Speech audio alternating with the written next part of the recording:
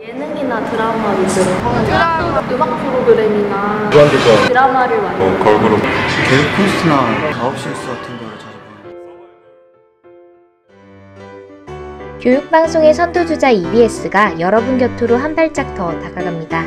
교육평등을 위한 보다 풍성한 학습 콘텐츠 EBS2 이제 시작합니다.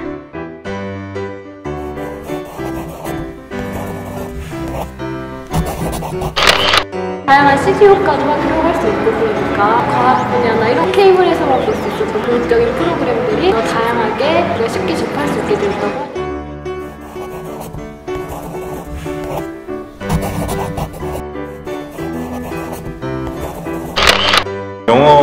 제일 보면서 따라해볼 수도 있고 많은 컨텐츠도 생기고 좋은 것 같아요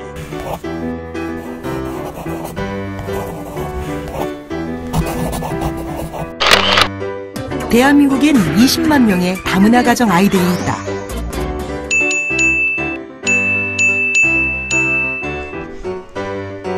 국내 최초 다채널 기술 도입을 통해 별도의 유료 혹은 유선 방송 없이 다양한 교육 컨텐츠를 즐길 수 있게 되었습니다.